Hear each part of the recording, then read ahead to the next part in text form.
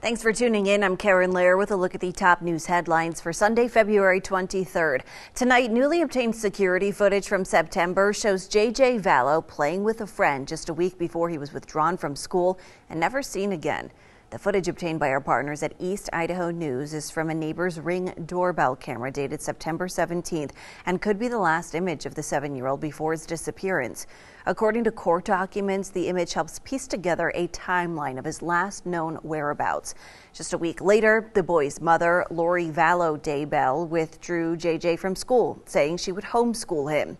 As 6 on Your Side has reported, police conducted a welfare check on November 26 at the request of JJ's grandparents. And according to authorities, that's when Lori said JJ was staying with a friend in Arizona. According to an affidavit, when authorities contacted that friend, JJ was not with her. Lori and her husband, Chad Daybell, fled Idaho just one day after that police visit. The couple resurfaced in Hawaii, where Lori was taken into custody on Thursday and faces multiple charges, including two felony counts of desertion and non support of a dependent child. The mother of the two missing siblings is being held on $5 million bail and fighting extradition. Her next court appearance is scheduled for March 2nd. Just today, East Idaho News published a deep dive into the religious circles surrounding the Daybells. You can read it right now on our website, 6onyourside.com. Well, it's time to prepare your taxes, and many homeowners are leaving money on the table. Idahoans over the age of 65, for example, qualify for a property tax reduction, but they are not alone. There are several qualifications, including anyone who's a former prisoner of war or who is blind. Ada County officials are hoping anyone who qualifies will apply for the relief. Only 50% of the people who would be eligible for this benefit, they actually are taking advantage of it, which means 50% of the people are not taking advantage of that.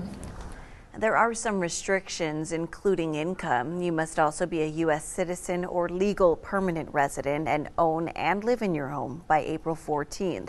To read the fine print, just click on this story on 6onyourside.com. Well, if you need help with your taxes this year, AARP is offering some free assistance at several sites around the Treasure Valley. You do not need to be an AARP member or a retiree to take advantage. It is available to anyone. The tax preparers are all IRS certified, and there are at least seven locations where the tax aid will be available. We have information on our website. Just head to 6onyourside.com. Now, Steve Liebenthal with On Your Side forecast.